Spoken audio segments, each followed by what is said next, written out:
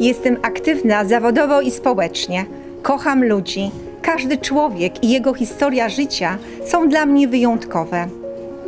Wiek nie stanowi żadnej bariery. Życie otwiera przed nami różne możliwości. Zapraszam wszystkich seniorów województwa świętokrzyskiego na Międzynarodowe Targi Seniora w Kielcach 12 października 2019 roku. Zapraszamy!